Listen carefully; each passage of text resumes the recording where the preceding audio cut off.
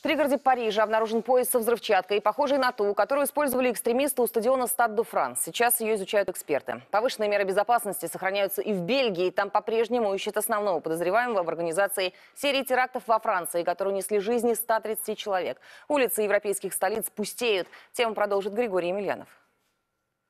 Парижский пригород Монруш. Где-то здесь, по данным властей, в момент терактов во французской столице находился главный подозреваемый в их организации Салах Абдеслам. Сейчас он самый разыскиваемый человек в Европе. Возможно, с Абдесламом связана новая опасная находка французской полиции. Поезд со взрывчаткой, брошенный прямо в уличную урну. Причем, как уже установлено, тип взрывчатки и отдельные элементы те же, что использовались при терактах 13 ноября.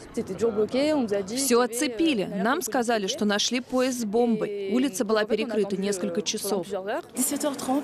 Всех вывели из ближайших зданий. Потом мы увидели машину саперов. Сейчас все вроде бы кончилось. В соседней Бельгии, где спецслужбы продолжают активные поиски Салаха Абдеслама, сохраняется высшая степень террористической угрозы. Граждан призывают еще как минимум сутки не выходить на улицу без крайней надобности. И еще не рассказывать в соцсетях о деталях антитеррористической спецоперации, если кто-то стал ее невольным свидетелем. Мы по-прежнему сталкиваемся с тем же уровнем уровнем угрозы. Возможные цели террористов прежние. Многолюдные места, такие как гипермаркеты, торговые улицы и общественный транспорт. Школы откроются в среду под усиленной охраной. Метро также откроем в среду. Возможно, будем делать это постепенно. Пока же в бельгийской столице царит атмосфера страха. Улицы, конечно, не обезлюдили полностью, но прохожих в разы меньше. Конечно, нам страшно. Думаю, каждому страшно. За детей, за себя, за свои жизни. Страшно садиться в общественный транспорт. Завтра, говорят, откроют метро, но я не знаю, как я туда войду. Посмотрим.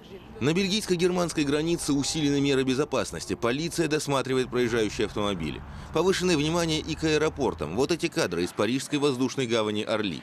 Видеозапись не может передать охвативший аэропорт напряжение, но рассказы людей могут.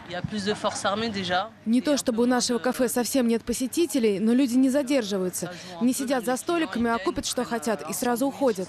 Повсюду полиция. Нас проверяли по прибытии. Похоже, действие Шенгенского соглашения пока приостановлено. Французская столица в эти дни совсем не похожа на туристический центр Европы. Конечно, смельчаки находятся всегда, но на ключевых точках обязательной парижской турпрограммы непривычная и неприятная пустота. Франция хоронит своих погибших. Все так же под пристальным вниманием полицейских.